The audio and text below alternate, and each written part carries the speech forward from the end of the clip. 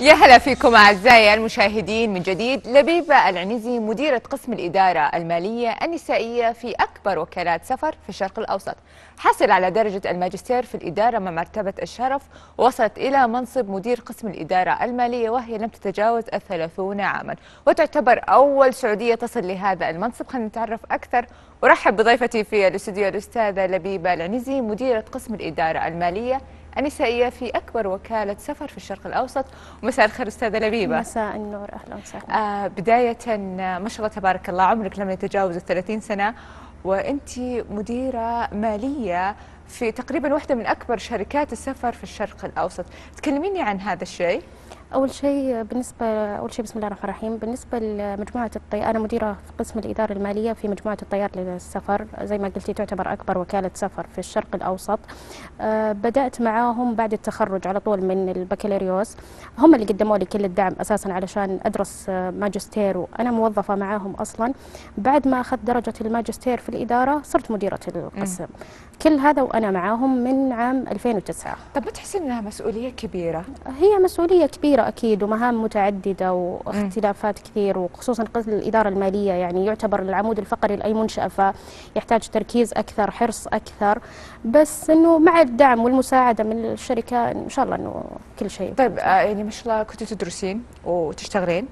وأنت محاضرة كمان في ال في ال في الجامعة. كيف كيف قدرتي توفقي بين هذول الأشياء؟ بالبداية أنا قبل ما أصير محاضرة أصلا كنت موظفة في الفترة الصباحية مم. درست ماجستير. كان لما فترة دراستي كانت محاضراتي مساء.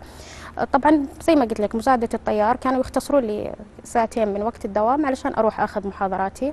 أه سنتين وبعدها لما خلصت الماجستير أه نفس الشيء صارت صرت محاضرة بالجامعة وصار محاضراتي كانت مساء محاضرة م. متعاونة في أحد الجامعات الحكومية. عارفة أستاذة لبيبة بعض المرات يكون شيء جميل لما يكون في زي الصبر وقصص نجاح يعني الواحد يدرس ويشتغل كمان ويثابر لما وصل لمركز ومنصب زي كذا. آه يمكن الطريق ما كان سهل. آه أنت ما واجهتك أي صعوبات كانت؟ أكيد كل شيء يعني كل شيء تسوينه أكيد له صعوبات خصوصا م. الوقت ضيق الجامعة لها متطلبات. بنفس الوقت ما ودك تقصرين في دوامك وفي مهام كثيرة وقسم حساس زي قسم زي الإدارة المالية, المالية. آه مسؤولة أنت قدام يعني قدام الشركة ومسؤولة قدام الجامعة برضو عن. مهام معينة واجبات معينة. واجهتني صعوبات بس إنه كنت يعني أحاول قد ما أقدر إنه نغطي هذه الأشياء وتجاوزتها الحمد لله ونجحت بمرتبة شرف.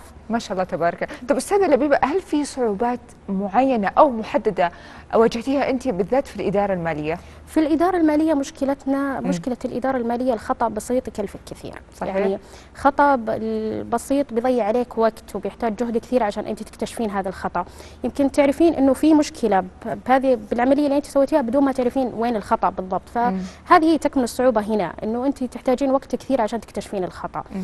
بالإضافة لأنه يعني فيها مسؤولية يعني طالما هي قسم إدارة مالية يعني في مسؤولة عن آه، أموال معينة ومديونيات معينة هذه الأشياء يعني كلها هذه مشكلتها إنه مسؤوليتها كبيرة يعني طيب هذه المسؤولية طب في موظفات يشتغلون تحتك مثلا؟ في كثير القسم فيه كثير. طب كيف لقيتي التجربة؟ يعني آه كمنصب زي كذا وعندك موظفات يشتغلون معك آه كيف لقيتي كيف الإدارة لقيتيها معاهم؟ الإدارة أكيد يعني مو بشيء سهل خصوصا إنك تواجهين ناس يعني من اختلافات معينة ثقافات صحيح. معينة يعني.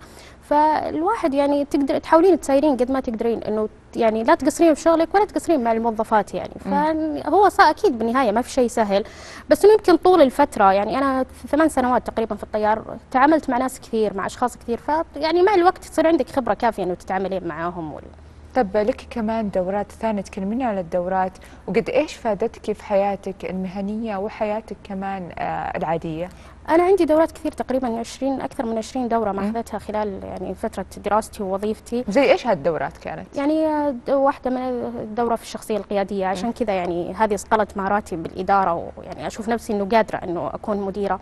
دورة في برامج الكمبيوتر كلها دورة في برامج محاسبية يعني ما درستها كمواد في الجامعة أخذت فيها دورات. دورة في الإدارة دورات كثير في الإدارة عشان يعني الواحد يزيد مهاراته. آه كنت يعني أنا ما أختار الدورات هذه بشكل عشوائي لا كنت أحاول أشوف نقاط الضعف فيني أشوف يعني وين أنا محتاج أزيد بهذه النقطة وكنت يعني على أساس على هذا الأساس أختار الدورات هذه. طيب أستاذ لبيب سألتك يعني بعدها يعني المشوار هو يمكن يكون قصير لكن إنه كبير في الإنجازات يعتبر. آه إيش الحكمة اللي أنت دائما تؤمنين فيها؟ آه لكل مجتهد نصيب يعني فقد ما تجتهدين يعني حتى لو ما يعني شفتي ثمارها في وقتها أكيد بعدين بيجي وقت تشوفينها. يعني زي مثلا أنا لما درست ماجستير كثير كانوا يعني كثير كانوا حولي كانوا يقولون ما له فائده يعني انت في قطاع خاص بالنهاية إيش راح يسوي لك الماجستير؟ ما راح تستفيدين منه حاجة. بالعكس يعني استفدت منه فائده كبيرة. يعني أخذت ترقية عليه أخذت مكافآت عليه أشياء كثيرة استفدتها منه فكنت عارفة وقتها ممكن وقتها ما كنت متوقع في بالي يعني ما كنت حاطة في بالي إنه أنا بستفيد كل هذه الأشياء. بس بعدين بعد وقت لا شفت إنه فادني كثير. طب أستاذة لبيبة يعني آه، انت ما شاء الله يعني عمر صغير ووصلت لهذه المناصب. آه، بعض المرات في بنات فعلا يكونوا كثير وأعمارهم صغيرة بس ما أنجزوا هذا كله. إيش الأشياء اللي ممكن اللي نقولها للبنات اللي بسن صغير عشان في المستقبل ما يدرون إيش اللي مخبيتهم؟ يعني انت زي ما انت تفضلتي كنت تدرسين كنت تشتغلين آه شفتي نقاط الضعف وينك؟ يعني كان عندك وعي مسبق بالأشياء اللي, اللي فعلا انت اللي تبغينها وتبغين تطوريها فيكي إيش تقولين للبنات عشان يطوروا نفسهم؟ اول نقطه لا يضيعون الوقت يعني لا تضيع الوقت بشكل عشوائي. المفروض إنه ينحط خطط معينة. أنا زي مثلا الحين إحنا على وشك ندخل 2017 مم. أنا حطيت لي نقاط معينة لازم أحققها خلال 2017 هذه هي تحطين أهداف واضحة انت لازم توصلي لها وتحددين الوقت. آه شيء ثاني ما يلتفتون الكلام الناس المحبطين. يعني كثير كثير حولك. في بعض الأشخاص حولك يكون هو مو قادر يسوي زي ما انت فيحاول إنه يحبطك علشان ما تصيرين أحسن منه أو ايا كان. ما يلتفتون لهذه الأشياء. الشيء الشيء الثالث برضو نفس الشيء شو نقاط الضعف وين؟ تحتاج تركيز هي وين؟ كل شخص عنده نقاط ضعف أكيد نقاط قوة معينة يحاولون يصقلونها. فبعد إنه تشوف وش الأشياء اللي هي مميزة فيها وتحاول تدعم هذه الأشياء يعني سواء بدورات أو دراسة معينة أو ايا كان. طب إيش اللي اختلف فيك من يعني بعد هالدورات وبعد هذا كله تحسين شيء تغير في شخصيتك مثلا بعد بالذات أنت قلتي لي الدورات الإدارية، إيش اللي انعكس حتى على حياتك العادية؟ أه تغير تقريبا مستوى تفكيري فيها. يعني صرت أركز على أشياء معينة أهم من يعني ارتفع مستوى التفكير عندي.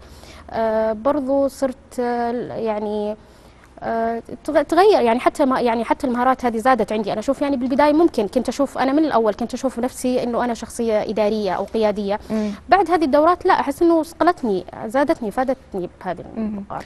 طب 2017 إيش خططك ما دام أنت ما شاء الله يعني عندك خطط مستقبلية، إيش خططك في 2017؟ أول مرة أصرح فيها بس إن شاء الله بإذن الله أنا عندي قبول دراسة الدكتوراه بإذن الله بكمل ما شاء الله تبارك الله. طيب آه كيف تشوفين مستقبل المرأة السعودية؟ يعني أنت آه فتاة لساتك نقول في أول الطريق لكن بمناصب كبيرة، كيف تشوفين المستقبل لكل البنات السعوديات؟ آه، أنا أشوف إنه زي زي أنا أتكلم عن بحكم خبرتي قطاع السفر والسياحة حاليا يعني البنات كثير كثير مرة ماسكين أشياء كثير في القطاع. إيش ماسكين البنات؟ إذا جينا إحنا شوي على قطاع السفر والسياحة إيش الأشياء مثلا اللي ممكن البنات يسوونها يمسكونها؟ إحنا في الطيار تقريبا متاحة الفرصة لهم الكل شيء إحنا نبغى نتكلم بالشركات بشكل عام يعني. يعني في إدارة إدارة المبيعات إدارة الموارد البشرية إدارة أقسام التسويق ال social media أغلبها صارت ماسكينها بنات الحين في كل مكان يعني. وكيف تشوفين الإقبال؟ يعني ممكن ممكن البنات يوم من الأيام مثلا في شركات السياحة والسفر آه يتدخلون في السياحة؟ أكيد أكيد خصوصا إنه قطاع السياحة والسفر يعتبر قطاع سريع النمو. يعني انت شايفة خلال خمس سنوات مو زي قبل عشر سنوات يعني غير انه قطاع السفر والسياحة مدعوم حكوميا من وزارة السياحه فأنا شايفة انه في زيادة استثمار حتى يعني من العنصر النسائي في إقبال عليه. المكاتب في مكاتب سفر صغيرة كثير يديرها ومالكاتها يعني عنصر نسائي. حتى في الفترة الأخيرة أستاذة لبيبة آه، في مكاتب كاملة نسائية زي ما نقول إحنا من الألف لين الياء. حتى المالكي يعني حتى المالك تلقينها عنصر نسائي يعني كلها. مم. حتى المكاتب الصغيرة يعني أغلبها اللي, اللي أقرأ عنها الحين كلها المالك عنصر نسائي.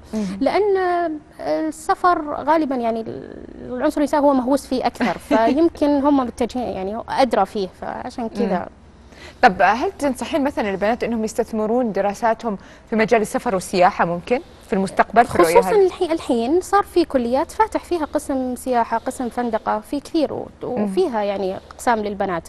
يعني طالما هو الحين سوق العمل يتطلب هذا الشيء أكيد إنه ننصح إنه يقبلون عليه يعني. يعتبر شيء مميز.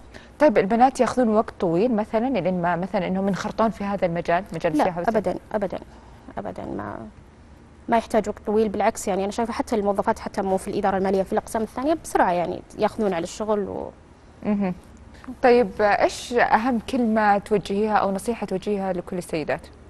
آه زي ما قلت لك أول حاجة إنه ما لا يلتفتون للناس السلبيين يعني الناس السلبيين تأثيرهم كثير على كل شخص فهذه هذه أهم نصيحة إنه لا ولا تلتفت للمحبطين ولا شيء تحط أهداف معينة وتمشي عليها وأكيد بتوصل.